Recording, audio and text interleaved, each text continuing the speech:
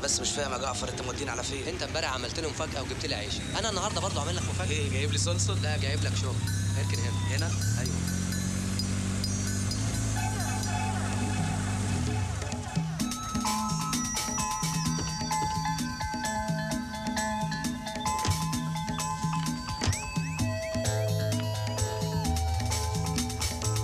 إيه رأيك في المفاجأة دي بقى؟ بمناسبة الافتتاح التصريح اليوم مجانا التصريح اليوم مجانا وسع جدع. الباشمهندس حوده وسط الباشمهندس حوده بكالوريوس إعلام قسم تلفزيون ملون. يعني أحسن واحد يتعامل مع أي حاجة لها فيش. بالراحة يا إخوانا النظام. أهم حاجة النظام. أوروبا سبقتنا بالنظام. أمريكا خدت العراق بالنظام. وإحنا هناخد منكم الأجهزة دي بالنظام إن شاء الله. الباشمهندس حوده هيوزع عليكم أرقام. كل واحد يسمع رقمه يجيب جهازه من سكان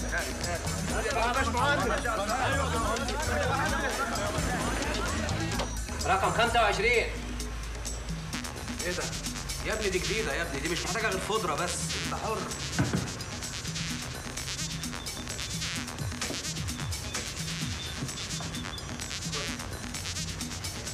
رقم 26 إيه التلفزيون ده؟ انت جايبه الطعام ولا إيه؟ استنى خد. بالراحة عليه عشان بيسنن. يا حبيبي ده أنا. امسك. سعيد الحظ رقم 27 إيه ده؟ عاوزين نصلح الجهاز ده. وانت جايبه على الطوب الأحمر وإحنا هنشطبه لك ولا إيه؟ هتصلحه ولا وديه توكيل؟ يا راجل ده انت شخصيا محتاج تروح التوكيل. امسك. إيه ناخده؟ خده هنعمله حوض سمك. أو نربي فيه دود قد وسع الكبير. بتصلحوا النوع ده؟ إيه اللي بنصلح النوع ده؟ ده حط متخصص في المقاس ده. في المقاس ده. إيه رأيك بقى في دماغ أخوك؟ أنا لما تكتك اولع الدنيا. والله يا ابني برافو عليك. مية مية. يجي منك يا. هو ده حوده اللي أنا اعرفه. بص بقى يا معلم. العشرة دول على ده يبقى معانا غلة مية مية. لا يا معلم العشرة دول من غير ده يبقى معانا غله مية مية. وتصرف انت بقى. شغل دماغك بقى شوية. يا ولا وانت اخترتي مين؟ حودة طبعا. واشمعنى حوده؟ يا ماما القلب وميلين قلب إيه وزفت إيه؟ الدرابة تعكس على المحل. طب خد دول ادفعهم بكرة وهات لي الوصل. استلفتيهم منين دول؟ ليه؟ هتردهم؟ وأنا مالي وأنا اللي استلفتهم. انت بتدور على إيه؟ الفلوس اللي كانت هنا. عملية متظبطة ومية مية بس محتاجة طعم. والطعم هي الفلوس اللي كانت هنا. انت شلتها؟ ما ترد. أنا اللي خدت الفلوس. يعني اتزنقت في موضوع كده وخدته. مفيش مشكلة. بس إيه يعني الموضوع اللي انت اتزنقت فيه فجأة؟ يعني موضوع كده يعني. انت هتخبي عليا؟ إيه يا حوده مالك؟ المحل بتاع آية الضرايب هتحجز عليه. آه. آية. خلاص يا جعفر هتصرف واجيب لك غيرهم حتى لو اتصرفت.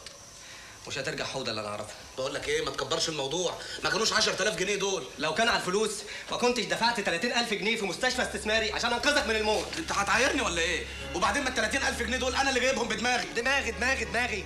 هو ما فيش حد عنده دماغ إلا أنت؟ ما أنا كمان عندي دماغ. وهي كرة البنج دي بتسميها دماغ ولا إيه؟ نعم. كده خلصت يا معلم. دماغي بقى شغالها لوحدك. أنا هتوب يا جعفر. كل ده عشان خاطر إيه؟ عشان خاطر روح يا أخي. أنت مش فرقتني نتوب نتوب. أديني هتوب. هو بمزاجك؟ آه بمزاجي. يا ريته كان بمزاجك. لكن الموضوع كله بمزاج الهانم اللي خلاتك خايب ومش عارف راسك من رجليك. جعفر. كلمة تانية وهنسى كل اللي بينا وأنت خلاص نسيته. ولعلمك التلفزيون ده أنا هبيعه. وما تسألنيش تمنه هوديه فين.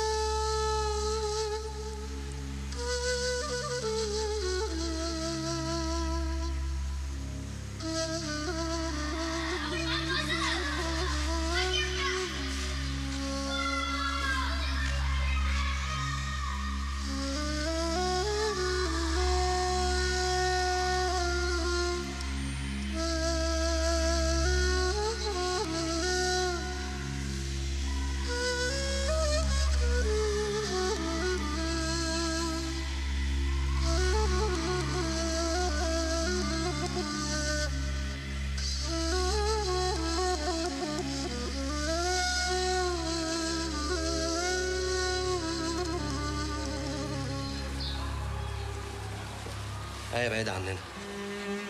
أنا وحودة محدش قدر يفرقنا قبل كده أبدا. اخص عليك يا جعفر انت ليه بتقولي الكلام؟ ده عشان في حاجات مش هينفع تفهميها ولا حتى هتحسيها. حودة يا آية بالنسبة لي مش مجرد صاحب وخلاص لأ. ده عمر. عمرنا ما اتخاصمنا أكتر من دقيقة. عشان كده ما ينفعش حد يجي ويحرمنا من بعض. أيوه بس أنا حبيت حودة بجد. والحب ده مش هيستمر. ليه؟ فهمني. ما أقدرش. صباح الخير يا طنط صباح الخير يا حبيبي. هو في إيه؟ مفيش حاجة. آية هنا؟ أيوه وجعفر معاها جوه جعفر؟ إيه اللي جابه ما أقدرش. ما أقدرش. يعني إيه ما تقدرش؟ جعفر يا تقولي الحقيقة يا اما هفهم أنا غيران منه. ما تقوليش كده. اللي يحبها حودة تبقى زي أختي بالظبط ومتحرمة عليا. طب ما تقولي يا جعفر في إيه؟ ما سألتيش نفسك إحنا بنشتغل تقولي بتبيعوا وتشتروا بنبيع إيه ونشتري إيه؟ ما توضح يا جعفر. إحنا بنبيع الهوا. إحنا ملناش شغلانة. إيه زي ما أنا خايف على حوض أنا خايف عليك. أنتوا ما تنفعوش لبعض. من الآخر إحنا نصابين.